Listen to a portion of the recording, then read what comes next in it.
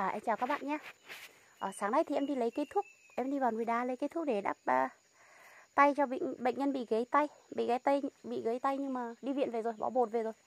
Bệnh nhân này thì ở tận um, Quảng Ninh cơ, bệnh nhân ở tận Quảng Ninh cơ. À, tuy nhiên cô ấy là mẹ cô ấy là khách hàng, cô ấy là khách hàng, cô ấy là khách hàng vip của em, là đại lý của em đấy các bạn ạ. Cô ấy làm đại lý giải độc gan cho em ở dưới uh, ở lấy Quảng Ninh.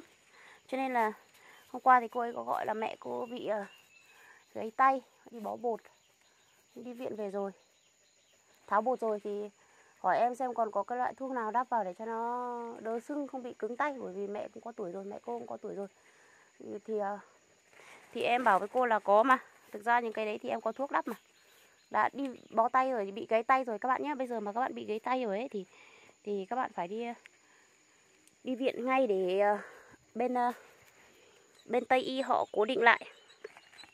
Còn đông y thì ờ, chỉ là đắp thuốc sau thôi bởi vì bây giờ thì xã hội phát triển rồi. Nếu mà xã hội không như ngày xưa ấy thì sẽ sử dụng đến bác sĩ đông y chỉnh nắn nhưng mà cái đấy nó không mình chỉnh nắn không chuẩn bằng máy móc đâu. Nên là khi bác các bác bị cái chân cái tay thì uh, ai biết nẹp thì nẹp cố định lại còn ai không biết nẹp thì uh, gọi uh, bác sĩ. Tây y về để ờ, xử lý và mang đi viện sau đó thì mới đắp những cái lá thuốc ờ, phải bó bột trước. Bó bột để nó cố định vào sau đó thì mới đắp thuốc thì nó sẽ hiệu quả hơn rất là nhiều các bạn nhé. Đó, em vẫn khuyên bệnh nhân của em như thế. Trường những cái trường hợp mà bị gáy tay mà mà mà mà không gáy tay gáy chân nặng mà không đi viện thì nó cũng sẽ rất là nguy hiểm nó sẽ không được thẳng đâu. Em thì em thì làm thầy thuốc thật nhưng mà em lúc nào em cũng khuyên người bệnh khi mà bị nặng quá mình mình sẽ khuyên họ đi uh, đi vào viện chữa trị trước.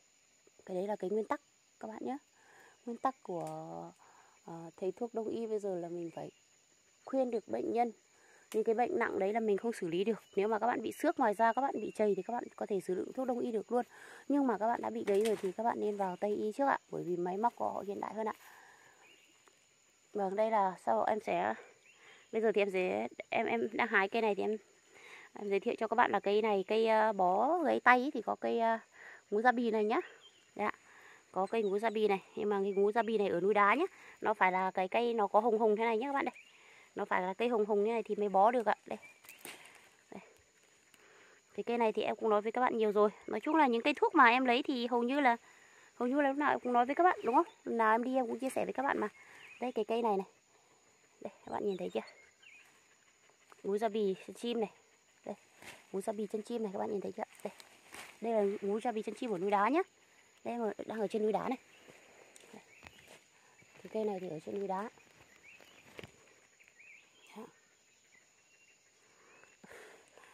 Ừ, có không nhiều đâu các bạn ạ. Cái cây mà nó không không ngọn này không nhiều đâu thì nữa để em phải trèo lên trên trên mỏm trên kia tìm. Tuy nhiên là à, tuy nhiên là, là, là em đã thấy một cái một cái hang các bạn ạ. Đây, để em trèo lên xem. Đây các bạn nhé, đây. Ở đây này các bạn ơi. Đây một cái hang kìa các bạn ơi. Em nói thật với các bạn là em chưa bao giờ, em chui vào cái hang này. Để em tiến lại gần hơn một chút để quay cho các bạn xem. Anh hiện tại bây giờ còn sớm lắm các bạn ạ. Bây giờ là 6 giờ. 6 rưỡi. Bây giờ chắc 6 rưỡi. Bây giờ 6 rưỡi các bạn em vào rừng thì hiện tại bây giờ là 6 rưỡi nhá 16 giờ có 6 giờ dưới thôi nên là cái thấy cái hang này nhưng mà chắc em chỉ dám em chỉ dám ngó vào quay cho các bạn xem thôi chứ còn còn sớm quá. Còn rất rất là sớm luôn. Rất là, là sớm luôn này. Rồi. Các bạn nhìn thấy chưa? Đây ạ. Cái miệng hang này cây cối này. Đây. Dạ. ở trong kia nữa. Ờ, ở trong sâu kia nữa. Chui vào những cái hốc này. Em thì thực ra thì em cũng hay đi hang lắm. Nhưng mà cái hang này thì em chưa bao giờ đi. À, các bạn biết vì sao không ạ? Thực ra thì ở chùa em thì nó có rất là nhiều cái truyền thuyết. Có rất là nhiều cái truyền thuyết từ xa xưa. Ở, ở cái khu này ngày xưa mà. Ở cái khu này ngày xưa là có có cái cái hang thì có cái hang thì thấy ạ ông em bảo là ngày trước có những cái chum ở dưới ở dưới cái hang ơi nhưng mà đây hình như không phải cái hang đâu các bạn ạ. Nó là cái hốc đá vào thôi. Cái chỗ này là ngày xưa Trung Quốc. Ở dưới này thì vẫn có hang nhưng em không biết là ở chỗ nào bởi vì cái hang này thì uh, cái chuyện nó ly kỳ lắm. Ngày xưa ông kể thì là có uh, có có người bị bệnh húi ấy. Ngày xưa là bị bệnh húi ấy các bạn khi bị bệnh húi thì người ta còn cái ngày xưa thì còn lạc hậu lắm thì họ nghĩ là bị bệnh gì nguy hiểm lắm thì họ họ họ họ, họ sẽ à, sẽ cho vào hốc đá cho vào hang đá và cho vào ở đấy chết dần chết mòn. Họ sẽ khi mà bị bệnh húi bệnh húi là bệnh phong ấy các bạn.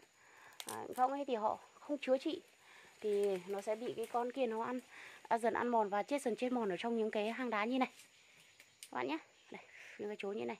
Em nói ừ, em à, nói chuyện thôi nhưng mà xin lỗi những cái nếu mà ở đây có những cái linh hồn đã qua và những cái uh, cái thời cha ông thời cha thời ông thời các cụ ngày xưa đã có ai là đã từng ở đây thì em cũng chỉ uh, bây giờ thì uh, cũng chỉ vào đây cũng chỉ hái thuốc thôi cho chỉ qua đây hái thuốc và cũng chỉ quay cho mọi người xem thôi chứ không làm gì không làm gì mạo phạm cả đâu ạ. Cũng không vào xem cũng không sờ mó đâu. Đấy là kể kể lại cho mọi người là uh, là là là đây có người ngày xưa người ta hay cho vào như thế thôi ạ à, ngày xưa thì ở đây thì nó còn úng um tùm lắm các bạn ạ đây các bạn nhìn thấy chưa? Nếu mà họ nếu mà bị bệnh ấy thì thì họ sẽ cho vào và ở những cái đá hốc đá như này nhá ở những cái hang đá như này. À, sau đó là đầu tiên thì họ còn mang cơm đi cho người nhà vẫn còn mang cơm đi ờ, không là lấy cái cây đẩy đẩy vào cho họ ăn cứ như thế. Xong là ngày qua ngày là thôi họ cứ khác uh, khác khác đau khổ chết vật vã ở trong rừng thôi bởi vì là cái thời nào thời đấy mà. Đây những cái hang như này thì mưa thì sẽ không xuống được đúng không ạ? Nhưng mà em thì sẽ không dám chui vào đâu các bạn ạ. Như này em không dám chui vào đâu.